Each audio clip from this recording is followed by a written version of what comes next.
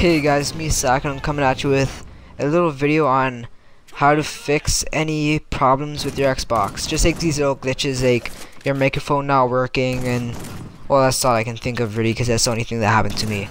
But um yeah I know for a lot of people um that your maker your microphone will just stop working sometimes like you can hear people talking but they can't hear you or things like that. Either you just change your battery because your battery is like really close to being dead or you can um, just keep on unplugging the mic and plugging it back in or just you turn off your Xbox like shut it down like hold down the button.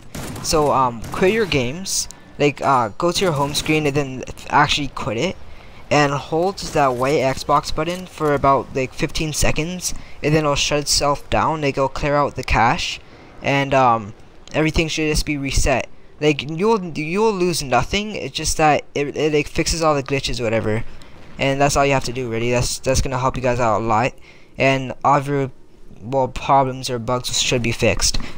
And uh, yeah, that's about it. Thanks, thank you guys, and um, yeah, this gameplay was pretty cool. Just me and my friend, we were trying to go find a good hiding spot, and it failed horribly, and we had to get back to the spot.